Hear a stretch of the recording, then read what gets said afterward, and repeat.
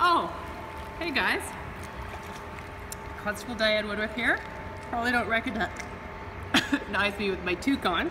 I'm Media Relations Officer for Halifax Regional Police, and you caught me because I'm training for the uh, Polar Plunge that's going to take place on March 4th in Parade Square in support of the Special Olympics Nova Scotia.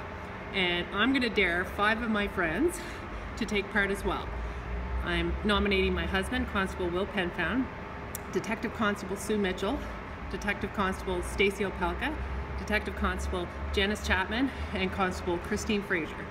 So if you're brave enough, take part. If not, go to the website and you can pay your bail to get out.